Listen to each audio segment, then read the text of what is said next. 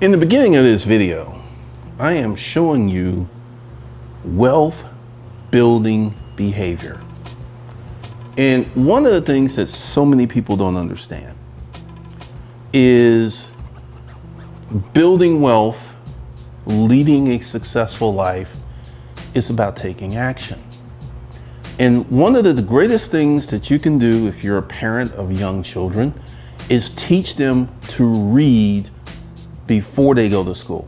And I'm going to explain why that is so important and why that will give them a tremendous head start. One of the things that you consistently see with poor people is low impulse control. I kind of saw it in the storage auction business, but I didn't really spend a lot of time with my customers. In the car rental business, it is rampant. I would have people call me back to back to back to back six, seven, eight, nine, ten times. Will not leave a voicemail, will not leave a message. This is low impulse control. And it is a prevalent thing with poor people. Now, we all have crazy thoughts in our head from time to time. But most of us don't act upon those crazy thoughts. But the poor and disenfranchised often do. They may be like the guy who broke my glass. They may have been just sitting around drinking. Hey, let's go rob some cars. Okay. And they went ahead and did it. Low impulse control is one of the reasons. Like there was a chick by the name of Bailey. She had super low impulse control. She was consistently getting arrested, getting in trouble. And one of the things that you will see with poor people, and this is a common thing I see here on YouTube. I'll see someone who will leave this type of comment or something very similar to it. Everyone who is reading this comment, I wish you the utmost success and I hope you reach your dreams. These feel good platitudes are absolutely worthless, but they get people to like the comment, they get their dopamine hit. But in the grand scheme of things, comments like that absolutely do nothing. And this is one of the problems with poor people. Communication skills are extremely important. Communication skills have been important forever. In the digital age, they're even more important than they were 20, 30, 40, 50 years ago. And poor people have very, very poor communication skills. The poorest is in the written word. This is why I do not consume TikTok. TikTok will make you dumb. And one of the things that when I was growing up that we had to do was learn how to write a letter. You, you would put your name and address, your date, and then there would be an opening to whom this may concern or what or something like that. Many people of today cannot pull that off. I know that sounds strange because to write a letter is super simple. But because people have allowed their minds to decay, they cannot pull off these simple things. Once again, in the car rental business, someone will hit me up, hey, this is going on. I'm like, who are you? It's like, what's your name? What car do you have? Whenever I am writing someone new, first thing I do is introduce myself and I get straight to my business if it's in the email. It's like, hi, my name is Glendon Cameron. This is why I am writing you. Then boom, boom, boom, boom, right? Many people cannot effectively communicate. And in this day and age, if you're an ineffective communicator, this will touch every area of your life from your email communication to your video communication to your verbal communication to your dating life. We're going to talk about that in a minute. Let's talk about reading. My grandmother taught me to read before I went to school. Now, why is this important? Many parents do not, my grandmother was a teacher. So she had an inside track on learning and what happens to children who do not learn how to read. So she knew what would happen. So I, even though I am dyslexic, because my grandmother taught me to read, I never got behind. I was always ahead. I remember, I think it was the third grade, I took the California Achievement Test, and then I got a letter from the teacher to give to my mother. And back then, we did not read the letters. If the teacher gave you a letter, a sealed letter to take to your mom, you just take it home, give it your mom. You would not read it. So I didn't know what was in it. And they wanted to promote me. They want they wanted to jump a grade for me. And my mother didn't she she didn't she didn't like that ideal, so she didn't let them do it. But because my reading scores were so high, and I'm gonna talk about why reading is so important and why I continue to be a reader to this day, why I continue to educate myself. Reading is the gateway skill to all other learning. So the better that you read, the easier it is for you to learn things. Let me say that again. The better that you read, the easier it is for you to learn things. And many people are very poor readers. I remember there was this periodical when I was growing up called Reader's Digest. And they would have these challenges in Reader's Digest, and it would be like 24 words, and I would get 20 to 22 every time. And as I got better and better, I would start nailing all 24. Growing up as a child, it was fun to learn. It was fun to consume new knowledge. It was fun. Right now, we have a bunch of kids who are not being pushed to learn. One of the things, like uh, one of the girls I'm dating, she talks about her sister and how her and her husband have no screen time days. They actually have three little kids and for like every other day, it's a no screen time day. These people are educated, they're informed, they know the danger of allowing your kids to be on a laptop or iPad or whatever. It rewires your brain and it destroys your attention span. So, one of the important things, if you are a parent and you want your child to be successful, you need to push them to become a great reader. That's the first level. That's the first level. Teach them to become a great reader. I remember growing up, we had like uh, bookmobiles, we had reading lists, we had summer reading challenges. Like 50 books. If you could read them over the summer, you get like a gold star. All that stuff is gone today because everyone is online. And what's so funny about that is your online communication. I made millions of dollars because I'm a great communicator. I'm going to give you an example of someone who was a great communicator who didn't have a degree that built a half billion dollar fortune. Rush Limbaugh. And I'm to tell you someone else. Remember the guy who played Geoffrey on The Fresh Prince? He got picked for that role because of his verbal communication skills. He got picked for, I don't know what they were paying Geoffrey because he was on the, every show, but I guarantee you he, he wasn't getting chump change. See, this is one of the reasons I don't use slang. Like, I hate when someone leaves a comment, stop capping, stop being ignorant, stop being stupid. Because right now, I've been able to get women because I am smart.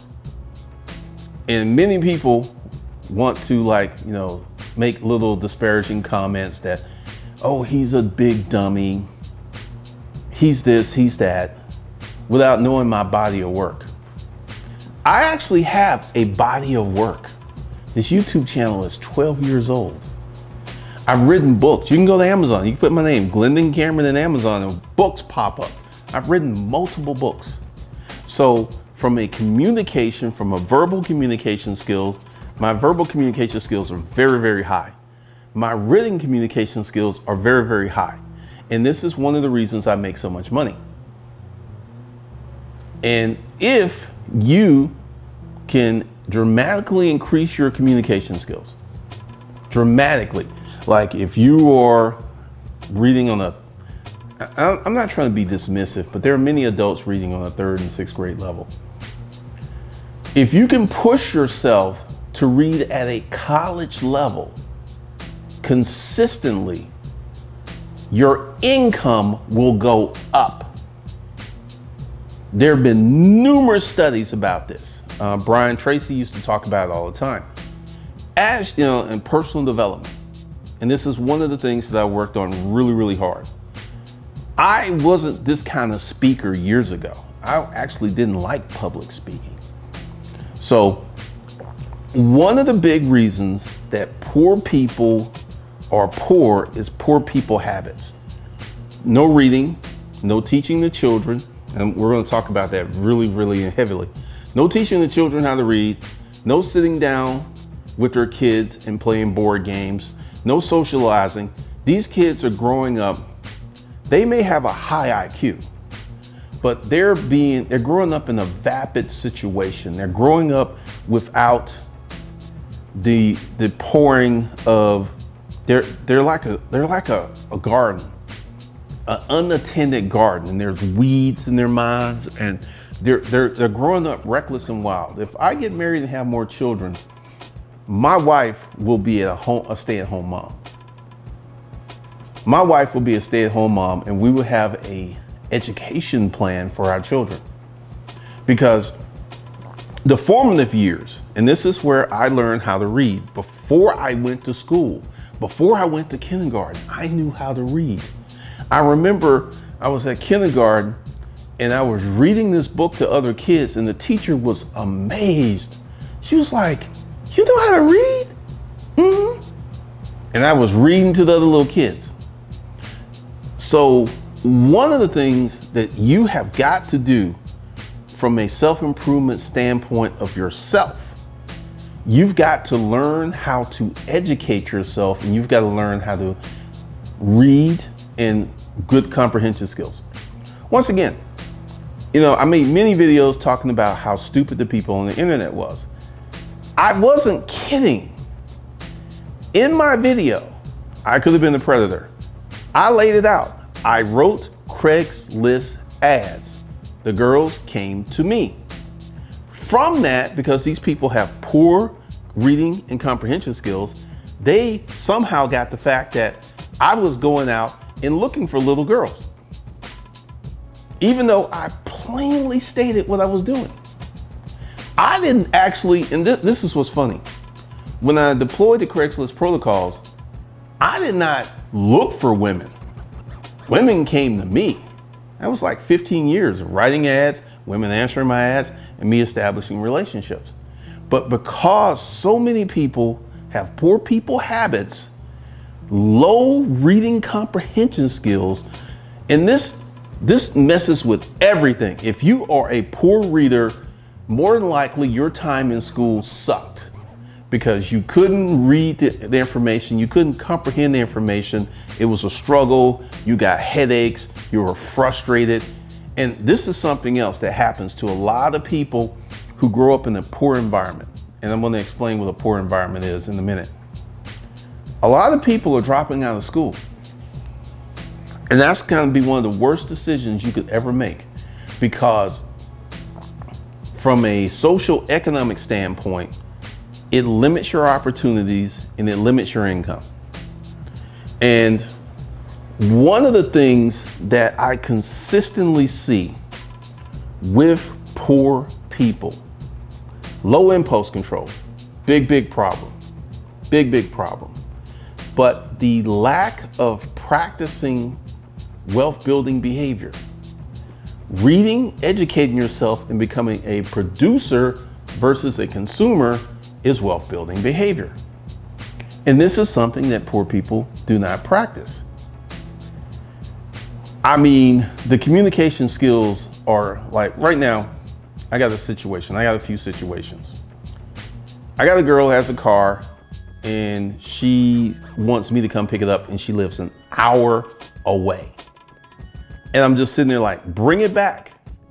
Now, this is one of the things that I suffer in the car rental business is people will get themselves in a situation and when the situation starts to get a little rough, they want to evacuate the situation in the most comfortable manner. For me to go an hour out of my way to actually have to spend money to go get my car that she's not paying for, this creates an undue burden on me. And this is one of the things. And this is something that Jordan Peterson talks about conscientiousness traits. These people are devoid of a conscientiousness trait. It's completely missing, it's completely absent. A conscientiousness trait, she would have brought my car back. But because she is seeking comfort and ease, she wants me to come get the car. And I may have to go get that car to get it back. And this may include a policy like if you live an hour away from this address, I'm not renting to you. Because consistently, this has been a problem where these people, once again, reading, comprehension skills, critical thinking skills, problem solving skills. I've had this problem happen a lot of people live an hour outside of Atlanta and they want to do Uber and DoorDash and they struggle. You want to know why? Because where they live, the business isn't that good. But they will keep trying to do it because they want to be comfortable versus successful. They want to be comfortable versus being successful. And I'm, I'm, I'm beginning to see some patterns here. Poor problem solving skills, another issue. I am amazed at the number of men who are incompetent. I had a situation where a guy said that the oil light came on and I was like, and this this is very frustrating. And like I had another guy, and I'll tell you how this conversation went.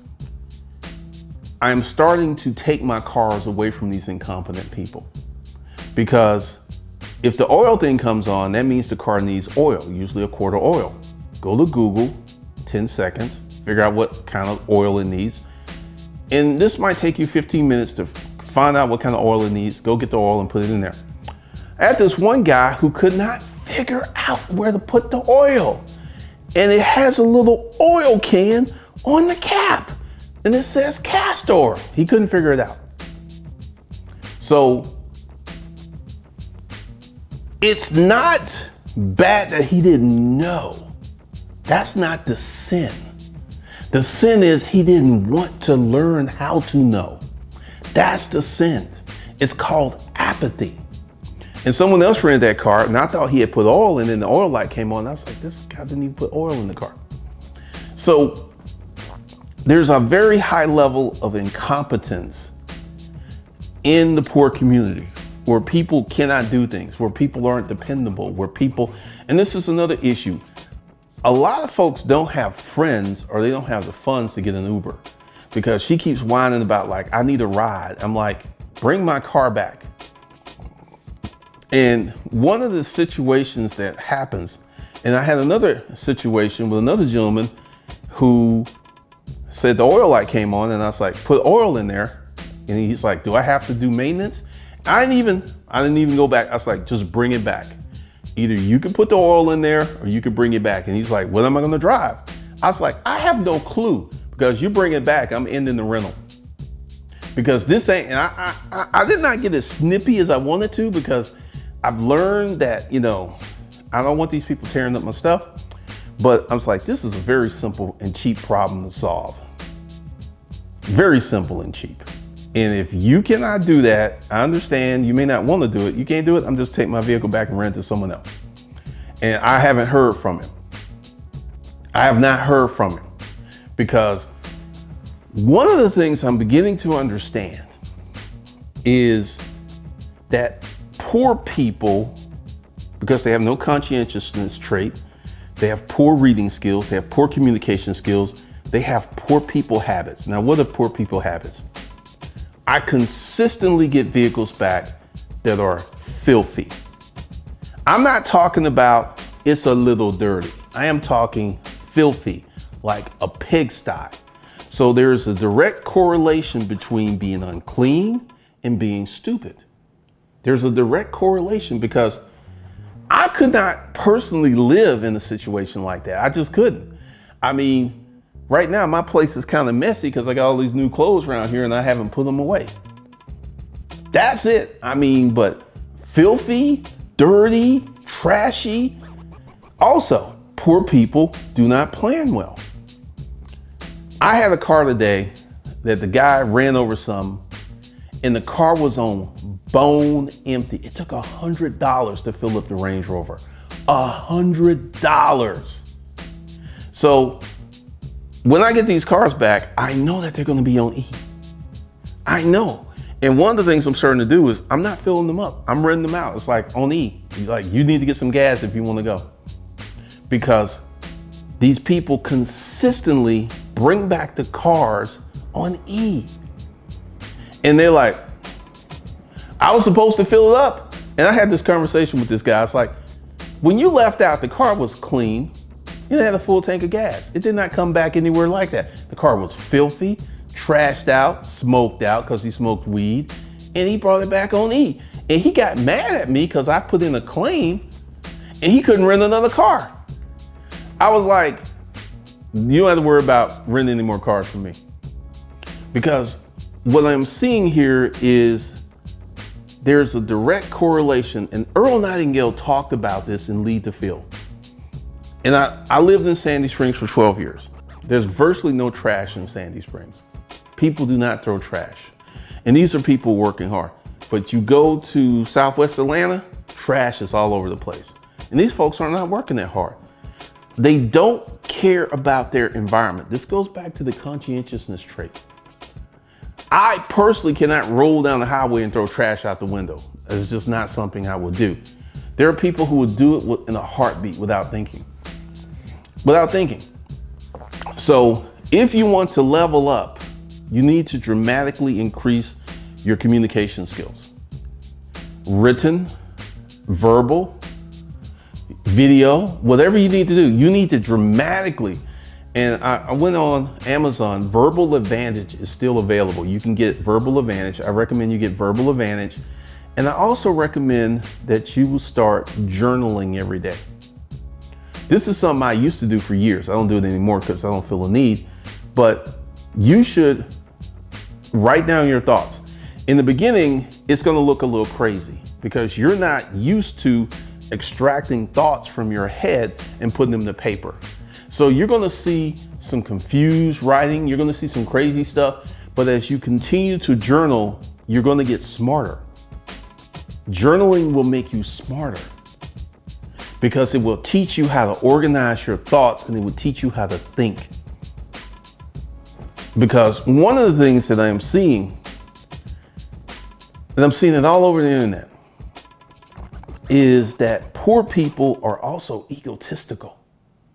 The guy who stole my 740i and incidentally cost $2,800 worth of damage and I only made $3,000 off of them. This, this is what I'm seeing consistently, consistently that poor people cannot maintain. They don't have any virtue in terms of maintaining. That car was in mint condition. It has a, you know, it had a shattered windshield. Uh, the tires were messed up. The car was filthy. I had to have it shampooed. I'm consistently seeing a strong correlation between filth and stupidity. If you can live in filth and it doesn't bother you, I think that you're mentally ill. I think that you are mentally ill. That is something wrong with you. And I've had some family members that I saw this in and I tried to talk to them and they were like, hey, you know, that's just how I am. I was like, okay, I don't really talk to them anymore. Because let's go back to high IQs. And this will show you the environments Barack Obama is definitely smarter than George W. Bush. But George W. Bush is richer than Barack Obama. Why? Because George W. Bush family owned a baseball team. He grew up in an environment, an enclave of wealth. And because he grew up in that wealthy uncove, he's wealthy, his family's wealthy, his children are wealthy. Even though Barack Obama is smarter, what does that tell you? Environments matter. If you have small children, I want you to listen to me. Do not live in the cheapest neighborhood. What you're doing is picking your children's future friends, boyfriends, and girlfriends. That's what you've done. You have picked their social networks before they even start walking again now because you live in a poor neighborhood. And statistically, it has been shown that, especially if you're black, that the children of black middle class parents don't do well as their parents because of this hood nature. This hood nature. So I would advise you to bust it, to live in the wealthiest neighborhood that you can, to read to your children and teach them to read before high school, and actually buy them educational games. Because if you will look at the typical, like I, will give you, uh, there was this girl I was dating and we were taking dance lessons. And you see this with immigrants. There was these little kids learning how to dance. I mean, they were like six or seven years old. This is what their parents were dropping in their heads, how to have culture. You know, someone said it was a bunch of white YouTubers making videos. I, not compared to the number of black folks I've seen. And also, I want you to look at culture. Many of these people are uncultured. If you will notice, and you can go back through my 12 years of videos, you will see something that you don't see on the typical YouTuber's walls. I have art. When I was a kid, I took commercial art in high school. I used to draw, paint, blow stuff up in the can.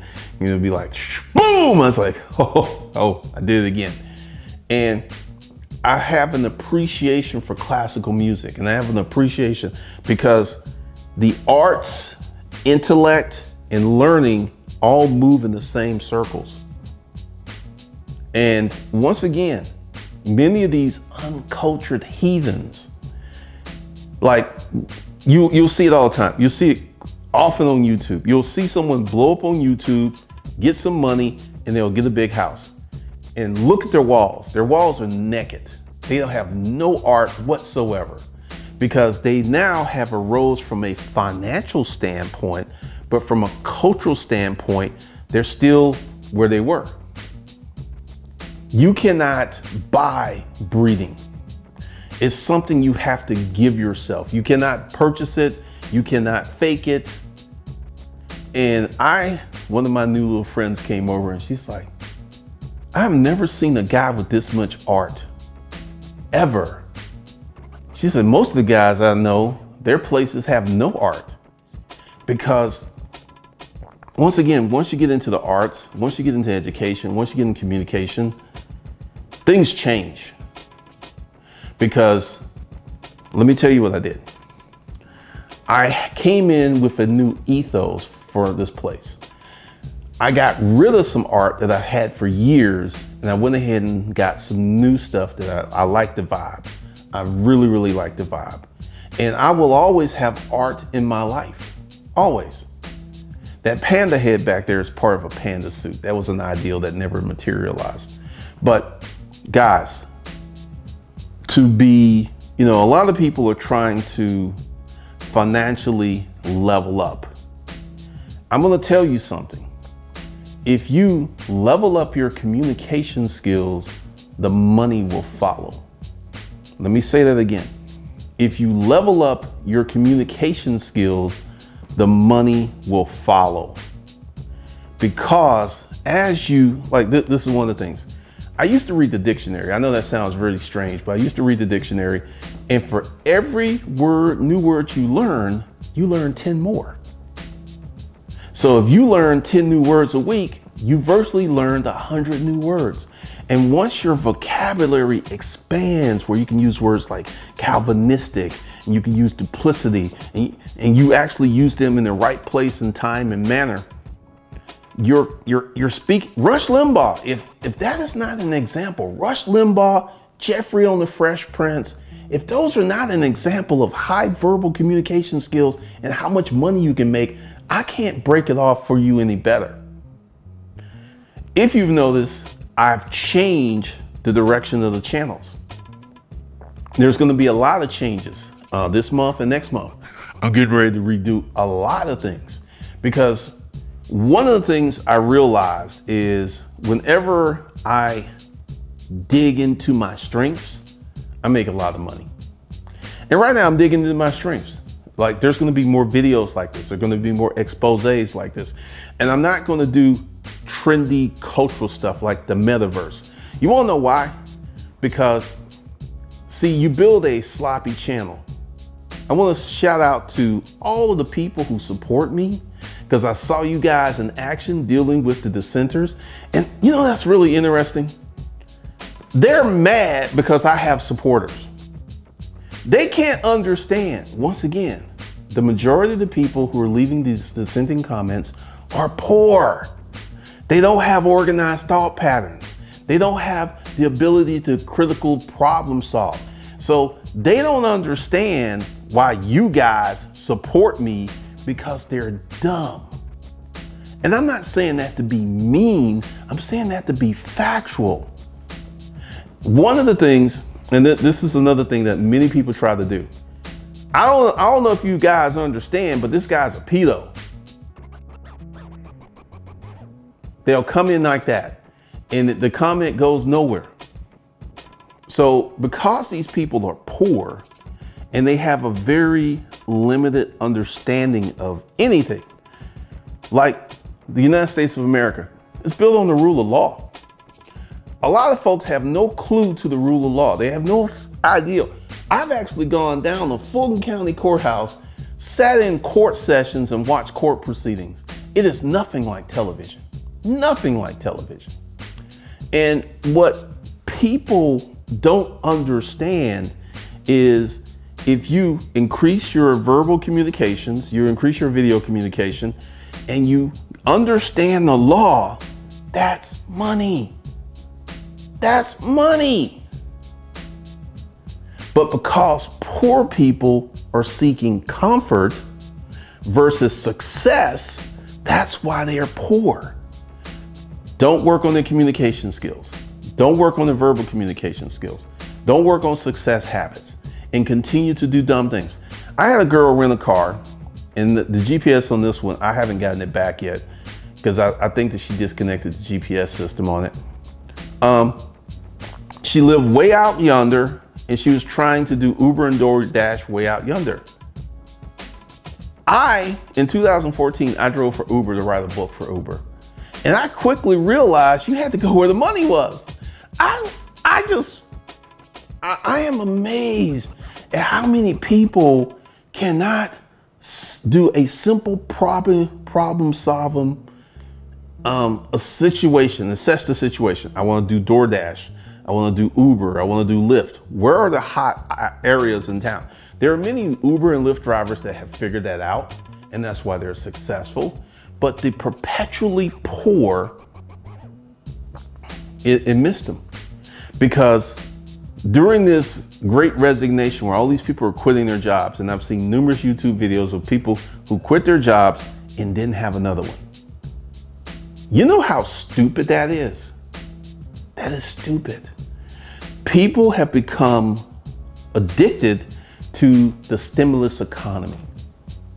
What is the stimulus economy? We're not foreclosing, we're not evicting, we're not repoing. And once they got comfortable with that, and when I was in the military, they would not let you take too much leave because you would lose your military bearing. And I understand. The most leave you could take while you're on active duty was like two months, I believe, maybe three. I'm not sure about that. These months, these people had a 24 month break. Many of these people had a 12 to 24 month break from real life. And they're still living in the stimulus economy, even though the stimulus economy is slowly, slowly going away. And these people haven't figured out when this whole thing started. What did I say? If you, if what was my message? And you can go back to the early videos. It's like if you can get some government money, you get to stay at home, learn a new skill, read books, don't sit home and smoke weed and have sex. What did people do? They sat at home, they smoked weed, they had sex, they messed around. That's what they did. Versus leveling up, learning how to communicate better, learning how to be a better speaker, learning how, once again. And when I start my intellectual property channel, that's going to be really dope because uh, I'm taking my time with that, just like I'm taking my time with personal capital. I'm not just throwing up videos on those channels. So, guys, you have got to get your verbal skills up if you want to be successful. Now, social media will show you a football player, a basketball player, and even with these guys, you remember how horrible that basketball players and football players used to sound? You don't really see that problem because they get media training. They learn how to speak. You need to level up your verbal communication. I cannot understate how important that is and what a difference that will make in your life if you level up your verbal communication. If you go ahead and do the hard work, learn new words, start journaling, start reading, put yourself in school. One of the reasons that I've been successful is I've been in school these last 23 years. Every month I learn something new. And you got people who are broke who refuse to pick up a book. You got people who are broke who refuse to watch anything other than drivel on YouTube or TikTok. They will not watch a TED talk. They will not watch anything where they actually have to sit and pay attention and think. Mm-mm, it won't do that. So, guys, you have got to start pushing yourself. You've got to start really leveling up your verbal and communication game written communication, verbal communication, and video communication. Those three things can make you rich. If you level up your verbal communication, it can make you rich. It can dramatically change your life like it has changed my life. I was a little nerd in school. I had no problem with being a nerd. And then I was a nerd that started playing football and that kind of got me my first little girlfriend. So, guys, do not practice poor people habits. What are poor people habits? A refusal to educate, a refusal to elevate their communication, a refusal to prob- learn how to problem solve. I keep hearing all of this that the elite are keeping their foots on the neck of the poor. I don't believe that's the case. I know that's not the case. The reason that poor people are poor is because they have poor people habits and they continue to replicate these habits. And that's what's really insidious is they pass these poor people habits down to their children who then in turn pass the poor people habits down to their children and create this super stupid loop of low achievement, low expectations, and low information diets.